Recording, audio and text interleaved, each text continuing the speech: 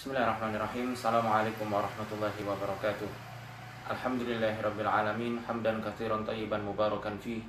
Ashadu an la ilaha illallah wahdahu la syarika lah Wa ashadu anna muhammadan abduhu wa rasuluhu la nabiya ba'dah. Allahumma salli ala nabiyyina muhammadin Wa ala alihi wa sahbihi Wa man tabi'ahum bi ihsanin ila yaumiddin Wa ba'du. Alhamdulillah pada kesempatan pagi hari ini sengaja saya menampilkan video streaming lagi live khusus membahas dan menjawab tentang tuduhan-tuduhan keji yang mengatakan dan menyatakan bahwasanya Rukyah Trans 7 itu afiliasi kepada Wahabi. yakni dari orang-orang pengadu domba dan pemecah belah umat Islam. Hanya karena kemarin kami menampilkan beberapa sarang-sarang setan pada jimat-jimat yang tergantung di rumah pasien.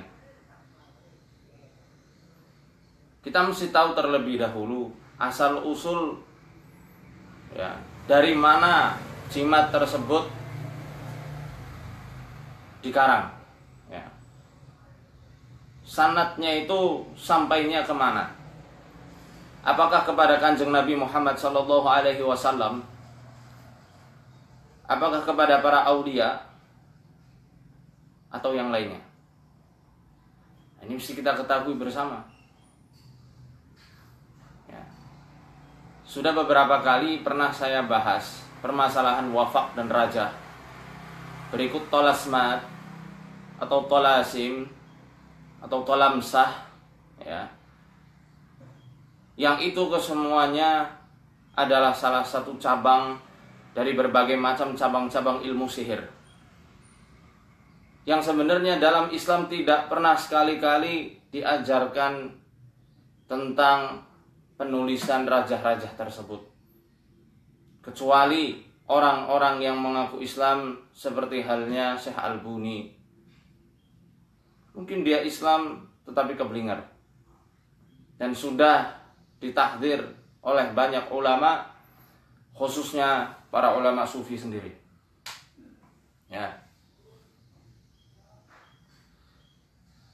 Mari kita telisik bersama hilangkan dulu asobia untuk mendapatkan kebenaran hakiki supaya tidak terjerembab dalam taklid buta menghalalkan jimat dan wafak yang hakikatnya itu sebagai sarang setan.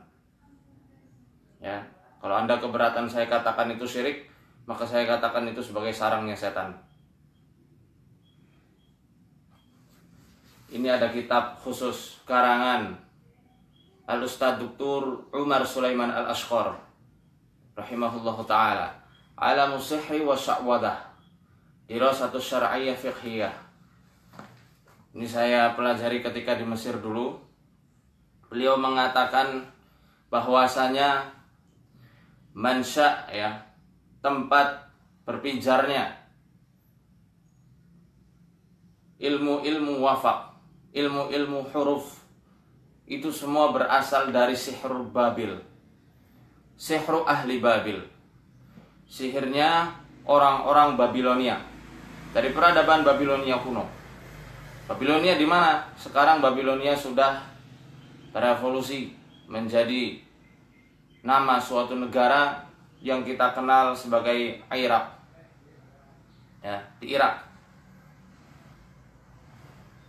Beliau mengatakan bahwasanya ya'tabiru ahlu Babil wa humul kildaniyun minan nabti wasuryaniyun anbaghal umam fis sihri wan najamah. Ya. Para ahlu Babil penduduk-penduduk Babilonia kuno. Ya. Dari Nabat Nabat ini nama suatu daerah yang letaknya dekat di sungai Efrat dan juga orang-orang Suryaniun. Suryaniun ini biasanya nama-nama penduduk mereka nama-nama asli mereka sering sekali disebut-sebut menjadi asma-asma yang diklaim sebagai asmaul a'zam. Ya. Ismul a'zam, mohon maaf, ismul ismul a'zam. Dan dijadikan sebagai raja-raja dan wafak-wafak. Nah, ini banyak sekali. Ya. Mereka terkenal sebagai anbagul umam fi sihri wan. Sebagai suatu kaum, suatu masyarakat yang amat sangat lihai dan pandai dalam mempelajari ilmu sihir dan ilmu nujum. Ilmu sihir dan ilmu nujum.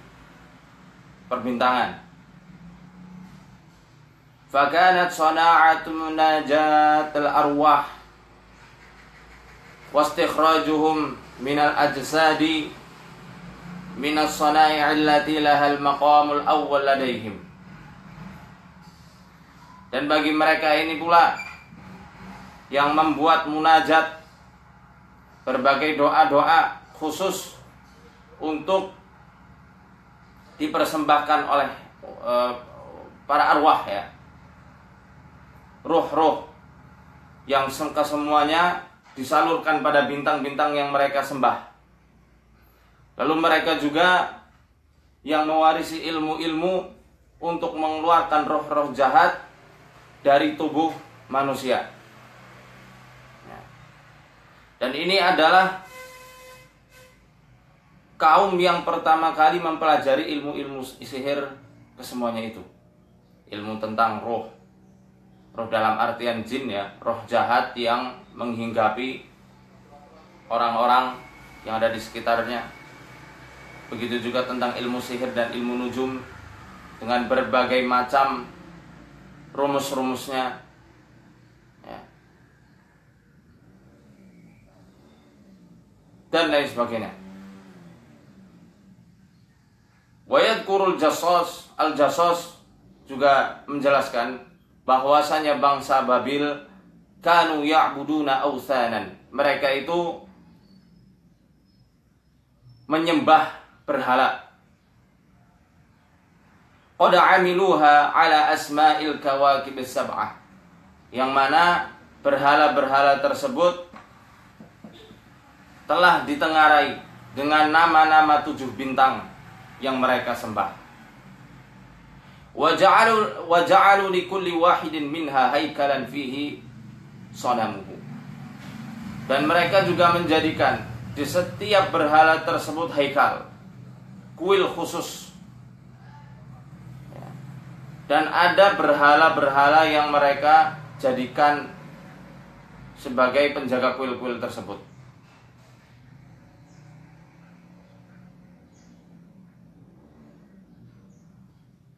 Wa yataqarrabuna ilaihi bidurubi minal af'ali ala hasbi i'tiqadatihim min muwafaqatin dhalika lil kawkabil ladhi yatlubuna minhu. Yang mereka semuanya menyembah berhala-berhala tersebut dengan melakukan ritual-ritual khusus ya, yang menjadi keyakinan mereka supaya bintang-bintang yang mereka sembah dapat memenuhi apa yang mereka pinta. Biza'mihim fi'lu khairin aw syarrin. Ya. Baik mereka uh, apa memberikan perbuatan yang baik, keinginan yang baik ataupun yang jahat sekalipun.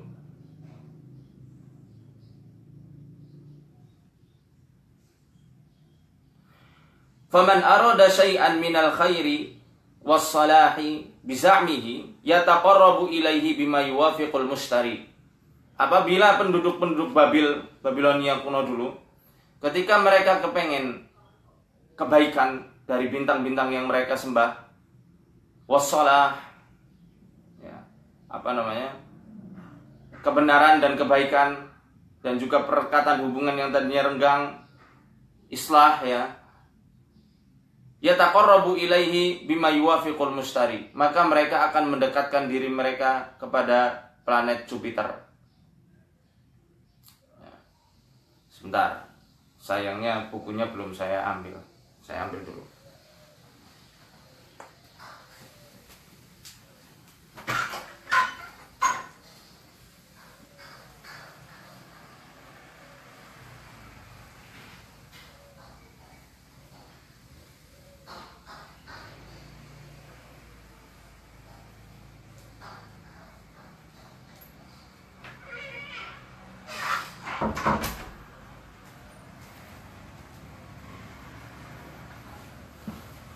Saya langsung ambil kitabnya saja supaya jelas. Mungkin di antara para pengadu domba ini banyak yang belum paham apa itu wafak sehingga mengatakan kita sedang menyerang salah seorang saudara kita suatu komunitas dari saudara kita padahal kita tidak pernah menyerang mereka kita hanya ingin mendakwahkan bahwasanya jimat-jimat yang diklaim sebagai kaligrafi itu adalah warisan-warisan setan dan bukan warisannya ulama. Ya. Bila fain ya syekh. Akhadul kutub. Ya, Hadal meraji Ini referensi kita. Referensi Dan bukti nyata bahwasanya apa yang dikatakan Al-Jassos Yang dikutipkan oleh uh, Al-Ustadz Dr. Umar Sulaiman Al-Ashqar Ternyata memang betul. Dan itu ternyata yang saya herankan Mengapa sihir-sihir orang kafir dari Babilonia dulu diadopsi di kitab ini? Yang katanya kitab ini adalah karangan Hujatul Islam ulama kita Al Imam Al Ghazali rahimahullah taala. Ya jelas kita selaku santri tidak terima akan hal tersebut kecuali kalau anda memang dukun ya saya tidak terima wallahi karena ini adalah menyangkut nama baik ulama kita Al Imam Al Ghazali tidak mungkin Imam Ghazali mengutipkan warisan-warisan dari mana? Dari orang-orang kafir, orang-orang Babilonia dulu. Dimasukkan ke dalam kitabnya Al-Aufaq ini. Beliau mengatakan di sini dikatakan dituliskan Tolasmul Marikh. Ya, di sini juga nanti akan dijelaskan tentang Marikh. Tolasmul Marikh litahyiji wa taslit yaktubu hadal bab bidami urfid dajajati sauda bikat bili nusrati li annahu babul ajaib. Ya. Planet Mars kegunaannya dan manfaatnya adalah untuk menundukkan dan menguasai seseorang. Saya ulangi lagi nilai ilah illallah.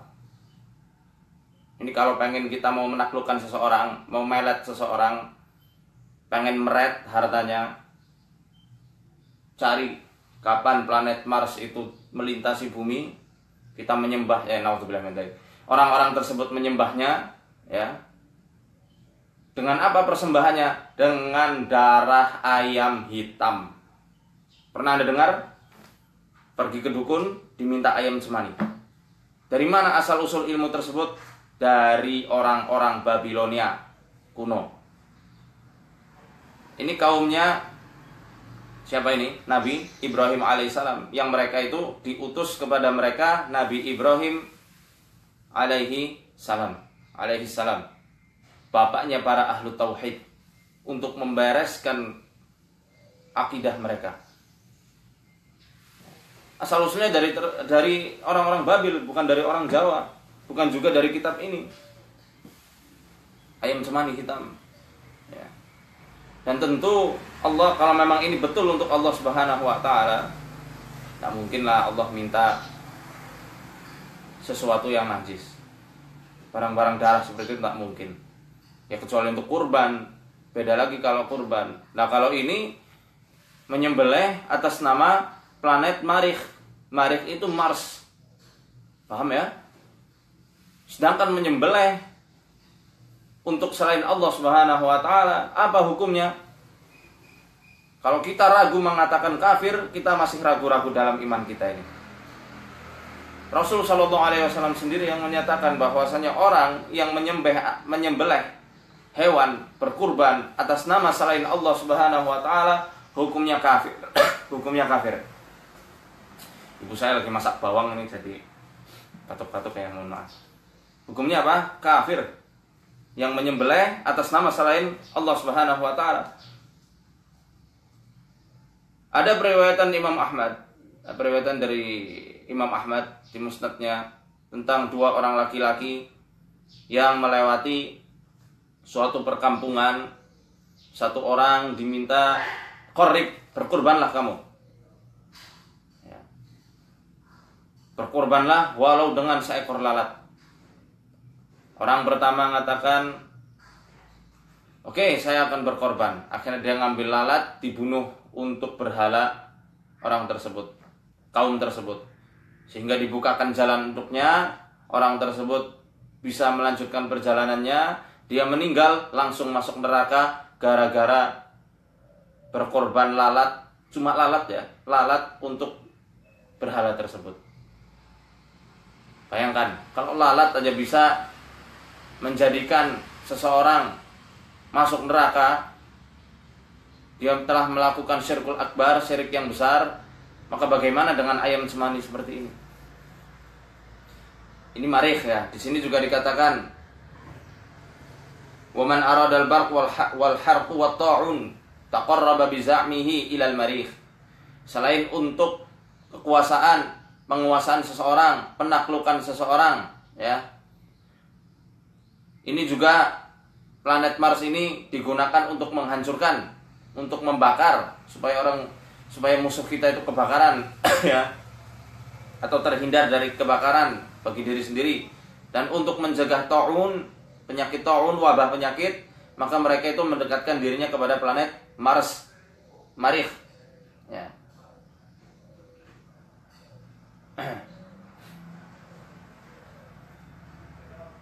Dan ini semuanya Masya Allah Banyak banget. Sudah dijelaskan rumus-rumusnya Bahkan tata cara penulisannya. Tapi mohon maaf saya tidak akan kasih tahu semua Saya hanya kasih beberapa saja Beberapa referensi saja Hadihit tolasim auhallahu biha ila Adam alaihi salam Yang katanya tolasim ini ya, Tolasim itu bentuk-bentuk Rumus-rumus yang majhul Itu telah di wahyukan oleh Allah Subhanahu wa taala kepada Nabiullah Adam alaihissalam bapak kita. Masya Allah. Ini dari mana dalilnya? Ya. Dari mana dalilnya? Katanya Allah mewahyukan ilmu tolasim dan wafak kepada Nabi Adam alaihissalam. Fa'alima ma yasluhu li kulli kawkabin min hadhihi talasim. Ya. Maka setelahnya Nabi Adam alaihissalam akhirnya mengetahui apa-apa yang baik ya dari tolasim-tolasim tersebut, baik untuk kehidupan manusia, untuk kemaslahatan hidup manusia. Min hadhihi tolasim fasahal. Zahal, planet Mars, eh, planet eh, Saturnus. Planet Saturnus yuridun najasah. Yuridun najasata inda amalih Masya Allah.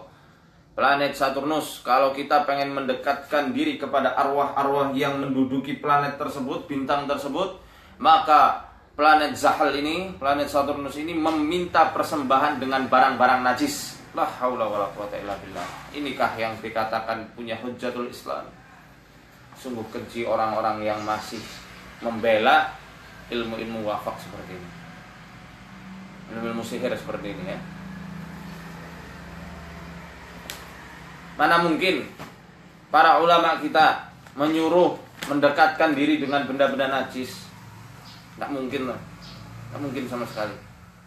Wal mustari yuridu taharata wasawma dan planet Jupiter cara mendekatkan dirinya adalah dengan bertohar, bersuci.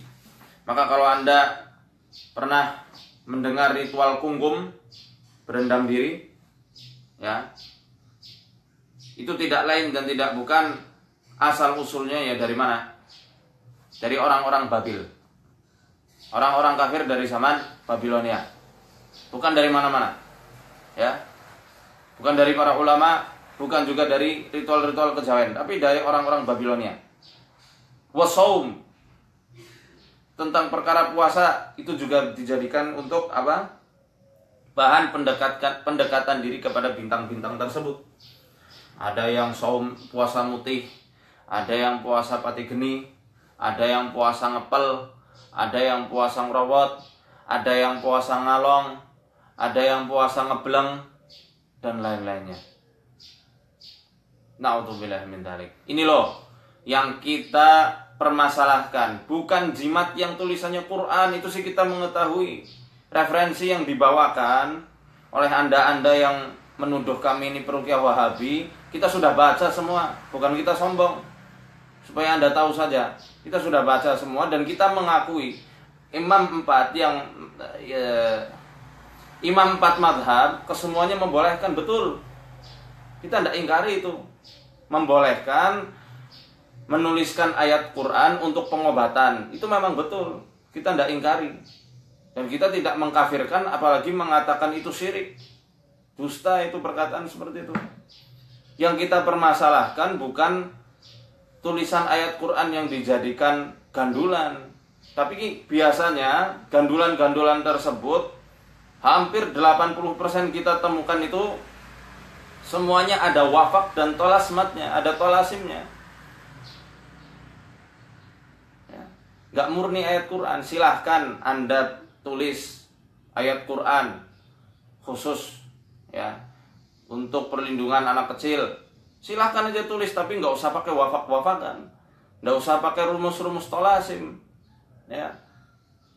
Karena itu memang dibolehkan, dibolehkan. Bahkan Syekhul Islam Ibnu Taimiyah ulama yang sering dinyinyiri sama kaum-kaum yang tidak suka beliau ketika ngobatin juga dengan menuliskan ayat Quran. Beliau ngobatin orang pendarahan mimisan orang pendarahan istihadah nggak berhenti berhenti.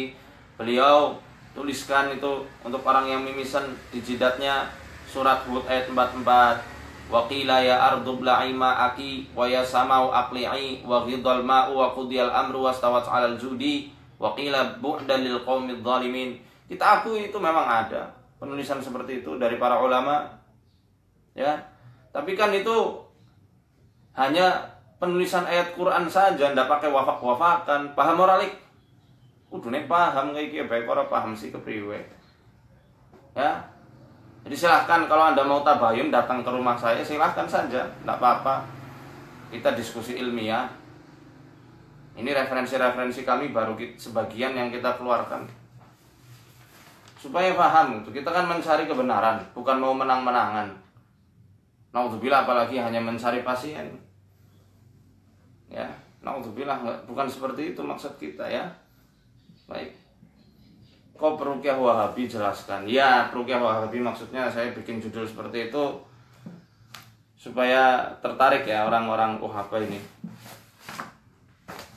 Maksudnya ya karena setelah tayangan kemarin kita banyak dituduh apa-apa wahabi apa-apa wahabi. Bingung saya sebenarnya nih bisa anda lihat nanti dalam kitab sab'ah sab'atu kutubun mufidah karya Sayyid Alwi bin Ahmad As-Saghaf ini juga tentang perkara ilmu nujum yang berkaitan dengan tolasmat, tolasim dan lain-lainnya. Di halaman 18 beliau mengatakan Nah, mana ini? Wa huwa ilmun yu'rafu bihil istidlal. Ilmu nujum atau ilmu wafak tadi adalah ilmu yang dengannya orang-orang bisa mengetahui al-istidlal ya. Tanda-tanda di alam raya ini bitashkilatil falakiyah. Dengan perubahan uh, orbit-orbit bintang. Alal hawadithis sufliyah. Yang itu semuanya bakal nyambung kepada uh, segala apa namanya itu yang ada di bumi ini ya. Yang ada di bumi. Baik musim, baik kematian, baik kehidupan seseorang, lahirnya seseorang, ya. wal muta'allimu lidzalika dan orang yang mempelajari ilmu-ilmu perbintangan tersebut kal haribi min qada'illahi wa qadarihi seperti halnya seperti orang yang lari dari takdirnya Allah Subhanahu wa taala. Nauzubillah min. Orang yang mempelajari ilmu perbintangan termasuk ilmu talasmat, talasim atau ilmu aufak yang tadi sudah kita sebutkan itu dikatakan oleh Habib Alwi As-Sagaf seperti halnya orang yang lari dari takdirnya Allah Subhanahu wa taala. Ya.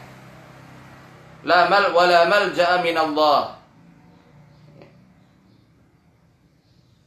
Fa in i'taqada sahibuhu ta'thiran nujum apabila orang yang mempelajari ilmu tersebut meyakini bahwasanya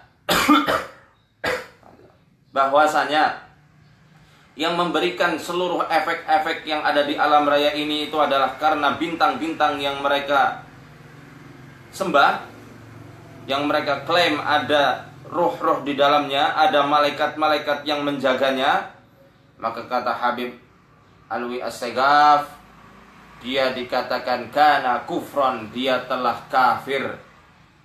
Dia telah kafir. Naudzubillah min makanya lah dah. Yang ada tolasim di rumahnya yang ada wafak-wafak segera dihancurkan dihilangkan dimusnahkan. Kita membakar itu justru untuk menghormati karena di situ ada asma Allah yang mereka campur-campur kalau kita sobek, kita buang, nanti tercecer, masuk ke tempat sampah, sedangkan asma Allah itu masih utuh, itu malah menghinakan betul. Lebih baik kita bakar supaya asma Allah itu yang mereka campur dengan nama-nama eh, tolasim-tolasim itu, itu hilang sama sekali. Ya, seperti itu maksudnya. Jadi tidak ada niat kita untuk menghinakan sama sekali. Naudzubillah min Ya, naudzubillah min itu di antara eh, masalah-masalah wafak ya. Ini perlu di dipahamkan harus difahamkan betul. Jangan sampai disalah artikan ini termasuk istighdam istighdam itu apa? Istighdam adalah meminta tolong kepada jin untuk berkhidmat kepadanya dan itu adalah hal yang terlarang. Saya juga ada referensi lain yang mengatakan tentang tolasim dan juga ayat-ayat Quran termasuk ayat yang riwayat yang katanya dari Ibnu Abbas radhiyallahu anhu sepupunya Kanjeng Nabi Muhammad sallallahu alaihi wa alihi wasallam yang katanya nama-nama ashabul kahfi yang tujuh yang mereka yang uh, mungkin anda lihat kemarin di tayangan Trans 7 ada Tamliho, ada Sarbunus, ada siapa lagi saya lupa. Pokoknya di tengah-tengahnya ada kitmirnya itu. Itu katanya dari hadisnya Ibnu Abbas radhiyallahu anhu. Kalau memang betul itu ada riwayatnya, silahkan ditakhrij. Silahkan ditakhrij. Bagaimana isnadnya, bagaimana sanadnya, bagaimana rijalnya. Kalau memang itu sahih, saya rujuk. Saya umumkan, saya akan rujuk, saya akan minta maaf. Kalau itu sahih. Tapi kalau kita mau pikir pakai akal kita, yang namanya hadis sahih, ya, yang aman, baik untuk kita yakini, itu tidak mungkin menyelisihi Al-Quran. Tidak mungkin menyelisihi Quran. Karena kanjeng Nabi Shallallahu Alaihi Wasallam sendiri tidak pernah menyebutkan nama-nama ashabul kahfi, apalagi menetapkan jumlahnya. Coba cek dalam surat Al-Kahfi. Saya Sayaquluna thalathatur rabi'uhum kalbuhum wa yaquluna khamsatun sadisuhum kalbuhum rajman bil ghaib wa yaquluna sab'atu wa thaminuhum kalbuhum qur rabbi a'lamu bi'iddatihim ma ya'lamuhum illa qalil fala tumari fihim ya. Mereka akan berkata mereka ini banyak ya para ahlu kitab para orang-orang yang sotoy. Mereka akan berkata ashabul kahfi ini ada tiga orang yang keempatnya itu anjingnya. Mereka mengatakan lima ada yang mengatakan lima yang keenamnya adalah anjingnya. Mereka juga ada yang mengatakan Ashabul Kahfi ini adalah tujuh orang, yang kedelapan adalah anjingnya. Mereka tidak mengetahui apa-apa kecuali hanya sedikit sekali dan tidak ada yang mengetahui jumlah mereka kecuali Tuhan mereka, yakni Allah Subhanahu wa taala. Dalam ayat itu kita diperintahkan tidak usah terlalu ngoyo mendebat mereka para ahlul kitab tentang berapa jumlahnya ashabul kahfi karena itu termasuk rahasianya Allah yang tidak ditampakkan berapa jumlah mereka, apalagi nama-namanya termasuk nama anjing yang dikatakan namanya itu adalah kitmir. Ya, silahkan ditakhrij. Kalau memang betul sanatnya sahih, saya akan rujuk. Saya akan rujuk. Betul. Silahkan takhrij. Sanat hadisnya. Dari mana itu? Ya, karena yang saya ketahui riwayat itu hanya ada dalam kitab ini kitab ini dan kitab ini. Saya nggak kasih tahu ini kitab apa. Ini saya sudah tandai. Hanya ada dalam dua kitab ini. Tapi di kitab hadis yang sahih baik di sahih Bukhari, sahih Muslim, Sunan Tirmidzi, Abi Dawud, Ibnu Majah, An-Nasai, Muwatta'nya Imam Malik, saya belum menemukan.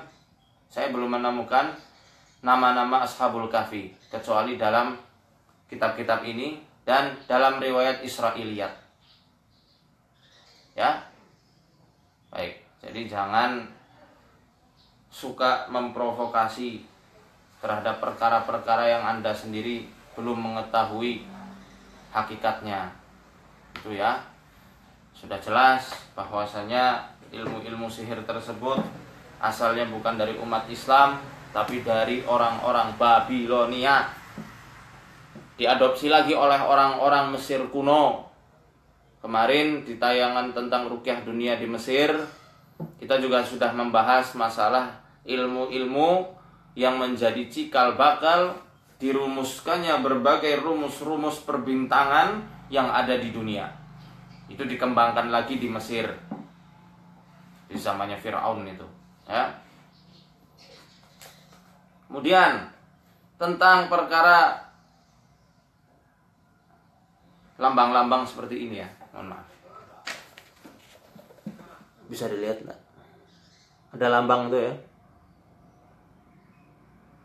Ini kemarin di Facebook. Di Facebook ada yang bertanya tentang lambang seperti ini. Ini. Ini adalah lambang sihir. Lambang sihir. Ya bukan uh, bukan asma Allah, bukan huruf hijaiyah biasa. Ini sudah lambang-lambang sihir. Lambang seperti ini dan yang semacamnya.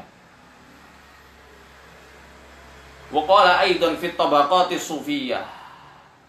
Syekh Abdul Wahab Asy'arani juga menjelaskan dalam kitab Tabaqatus Sufiyah wa kana Asy-Syaikh Ibrahim Al-Matbuli Syekh Ibrahim Al-Matbuli rahimahullah beliau menjelaskan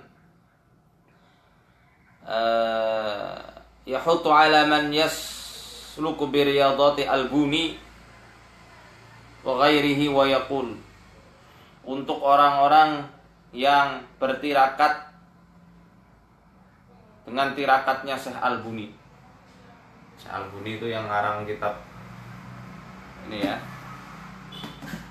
Samsul Ma'arif, Manda Usul Hikmah dan lain-lainnya wa izzati rabbi wa izzati rabbi. Beliau bersumpah atas nama Allah. Demi Allah inna ibadal asnami. Sesungguhnya para penyembah-penyembah berhala ahsanu min haula'i. Para penyembah berhala itu lebih baik daripada orang-orang yang mengikuti tirakatnya Al-Buni. La haula wala quwata illa billah.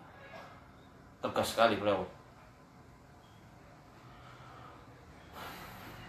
fa inna Allah azza wa jalla akhbara anhum annahum kanu yaquluna ma na'buduhum illa liyuqarribuna ila Allah zulfa.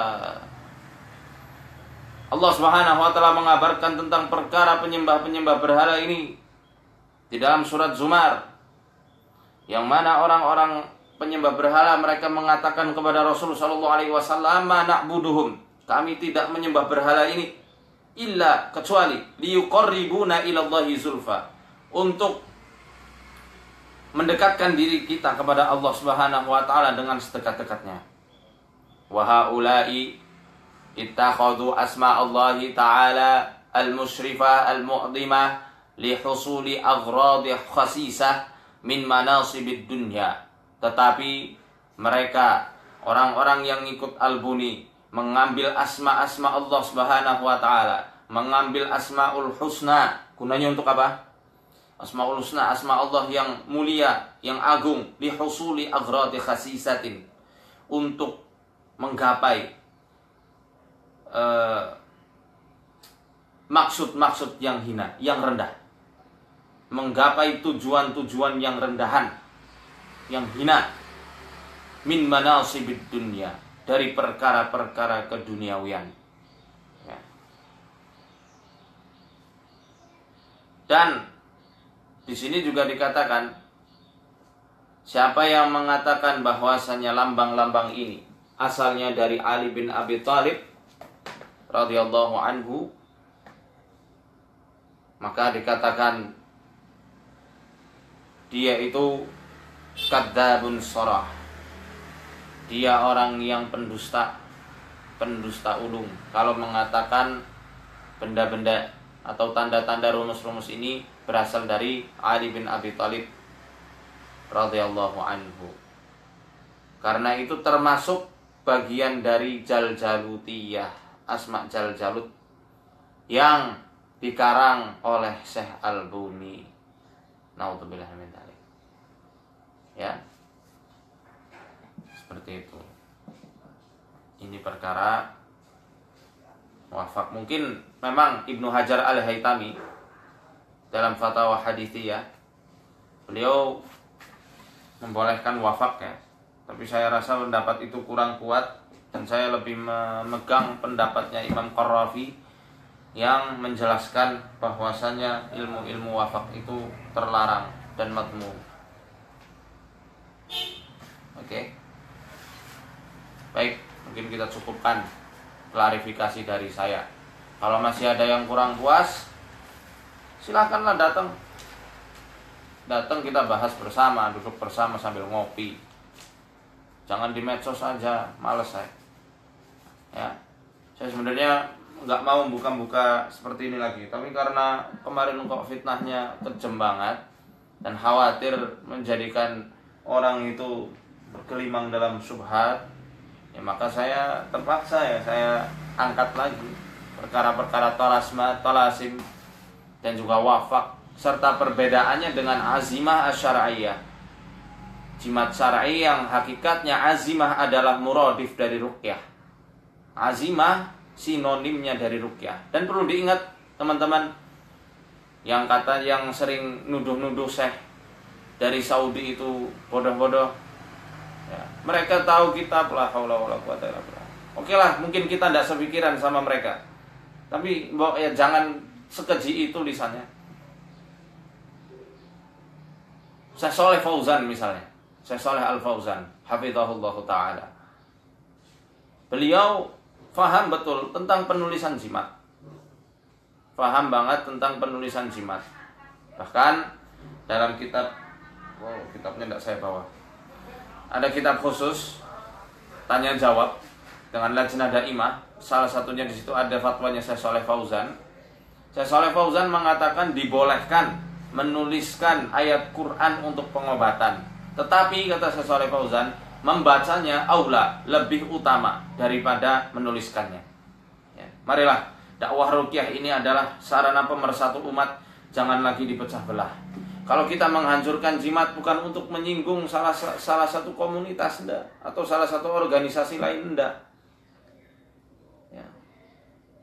tapi gunanya supaya mengajak kepada kaum muslimin untuk membendung praktek-praktek kesyirikan yang selama ini mungkin kita tidak sadari. Yang hakikatnya itu adalah sihir.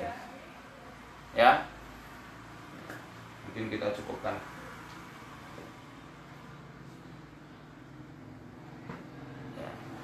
Silakan kalau ada yang mau tanya kalau tidak ada saya tutup.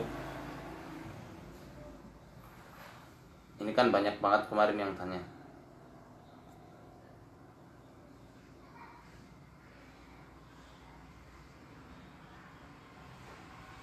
Ya, saya tinggal di daerah Banyumas. Saya tinggal di Sokaraja Banyumas kalau mau ikuti kajian saya setiap ahad subuh di Masjid Salahuddin. Kalau mau diskusi di situ silahkan. Saya waktu itu sudah fasilitasi sama yang ngeyel mendukung ilmu wafak dan tolasim. Saya sudah fasilitasi bahkan tim saya di Arsada Al-Fatah sudah kasih meja khusus moderator kita diskusi terbuka di situ. Tapi sayangnya orangnya tidak hadir ya sudah bagaimana? Kita tidak mau sombong-sombongan. Kita di sini dalam rangka mencari kebenaran. Kalau mungkin ada kebenaran dari antum, ya kita terima. Ya, kita terima. Makanya tentang Ashabul Kahfi tadi saya katakan takhrij hadisnya. Ditakhrij. Kalau memang betul itu sahih, ya sudah. Saya rujuk, kita terima. Ya, begitu. Baik ya silahkan. Oh biar semangat ibadah butuh rukyah atau enggak bukan butuh rukyah butuh motivasi ikut kajian ilmu. Ya. Jangan hulu terhadap rukyah. Ini nanti mau saya bahas ini. Saya mau bikin rekaman singkat. Fenomena hulu berlebihan terhadap rukyah dan perukyah. Ini jangan ya. Nanti masuk kepada eh, yang disabdakan oleh Nabi Shallallahu Alaihi Wasallam. Tidak masuk kriteria 70 ribu golongan yang masuk surga tanpa hisab dan adab. Makanya lebih baik rukyah mandiri saja itu lebih bagus. Perbedaan wafak dan azimah. Bagus pertanyaannya. Tadi sudah kita bahas kalau azimah azimah itu syariah azimah itu muradif sinonim dari rukyah. Lebih baik bukan dituliskan azimah lebih baik dibacakan kemudian disemburkan sebagai makna sebagaimana rukyah makna awal atau makna dasarnya itu ida awwada wa nafat. Kenapa dikatakan rukyah ruko? Itu apabila ada aktivitas seseorang yang menjampi awwada menjampi wa nafat sambil meniupkan jambi-jambinya. Misal La ma'asmihi syai'un fil ardi wala fis sama'i wa samiul alim. Itu namanya ruqyah. Ini pengertian dasarnya. Bisa Anda cek dalam Al-Misbah. Al-Jauhari yang mengatakan. Dan Aunul Ma'bud Syekh Samsul Haq Abadi juga menjelaskan ruqyah, azimah itu maknanya sama, mayurma bihi minad du'ai li talabis syifa segala sesuatu yang diniatkan dari doa yang dipanjatkan untuk apa? Untuk meminta kesembuhan dari Allah Subhanahu wa taala, bukan ditulisin. Walaupun dituliskan ini juga hukumnya boleh kalau Quran saja yang dituliskan. Tetapi kan masyarakat kita, kita kalau mau menetapkan suatu hukum ya, ya walaupun kita masih jauh dari kata mujtahid dan kita tidak layak untuk menetapkan suatu hukum tetapi kan kalau mau melihat suatu perkara kita lihat juga bagaimana urf bagaimana adat orang-orang sekitar yang mau kita dakwahi tersebut. Di Indonesia Nusantara ini banyak orang-orang yang menggunakan raja kita perukiah yang dituduh sebagai perukiah Wahabi sering mengatakan dan mewanti-wanti jangan melakukan raja bukan untuk mengharamkan secara mutlak tapi dalam rangka saddud daro'i menutup celah-celah kerusakan yang mungkin akan terjadi. Kan ada kaidah fiqhiyah darul mafasid muqaddamun 'alal jalbil masalih. Mencegah keburukan lebih diutamakan lebih didahulukan daripada apa daripada memperbaiki. Nah, itu yang kita dahulukan. Itu yang kita jaga, bukan untuk mengharamkan secara mutlak. Nah, inilah pentingnya tabayun, klarifikasi, jangan asal serang begitu saja, apalagi menuduh perukia Wahabi, perukia apalagi ntar banyak ya. Nauzubillah min Nah itu kalau azimah yang dituliskan oleh para ulama Tidak ada rumus-rumusnya Tidak ada syakal-syakal tertentu Nggak ada kotak-kotakannya Nggak ada segitiga-segitiganya Nggak ada garis-garis melintang ke sana kemari Nggak ada huruf yang terputus-putus Murni tulisan Paham ya Mbak di sini? Ya.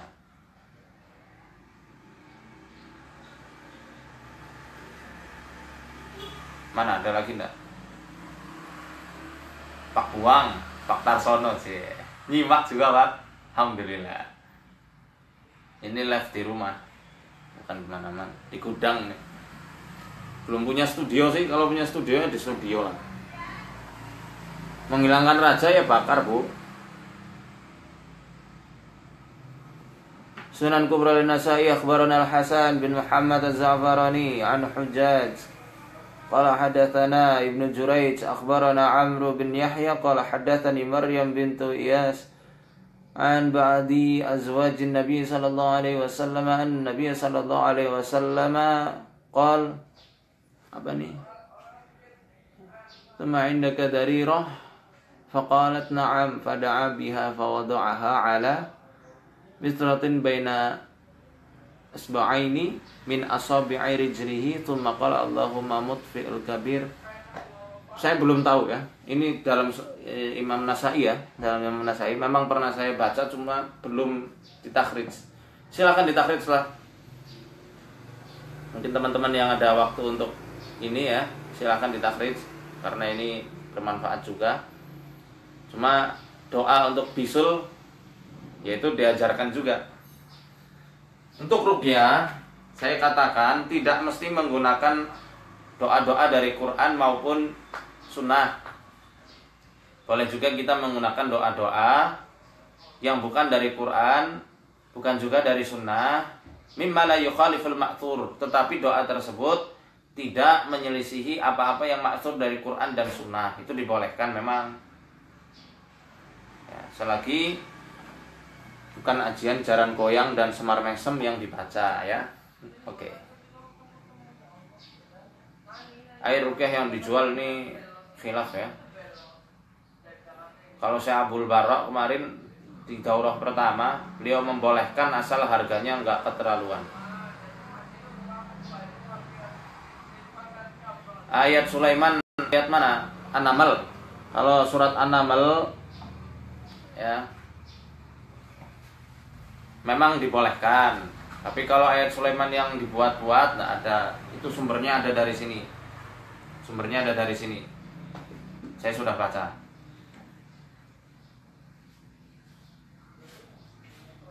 Nah iya ini Rizal Ikrimah ini yang baru baru kita bahas itu termasuk jimat ya. Kaligrafi yang berbentuk asmaul husna guna mempermudah mendapat rizki menolak sihir dan bala itu termasuk jimat termasuk sihir.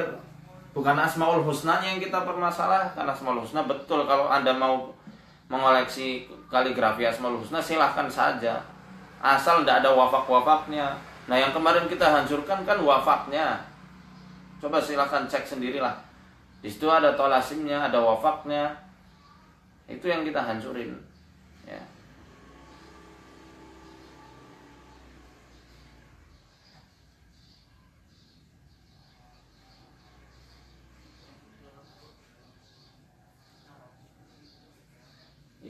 mungkin sudah lah ya. Bagaimana cerita Sunan Wali Songo? Tidak nyambung. Apanya? Yang mau diceritakan apanya? Cerita yang mana maksudnya? Apa tentang wafat? Tentang raja? Wali Songo tidak pernah ngajarin seperti itu. Ya. Sudah. Kalau misal mau ya kalau mau diskusi lebih lanjut, belajar lebih lanjut, ikuti kajian kami di Masjid Salahuddin Sokaraja setiap Ahad subuh. Anda mau diskusi, mau bawa kitab Anda, silahkan, saya terima. Bukan buat tantang ini bukan bukan tantangan, ini apa diskusi ilmiah, tidak masalah. Syukur kalau Anda sudah takhrij hadis riwayatnya Ibnu Abbas ini yang mengatakan manfaat nama-nama ashabul kahfi tersebut. Barakallahu fikum. Arsadani Allah wa iyyakum. Assalamualaikum warahmatullahi wabarakatuh.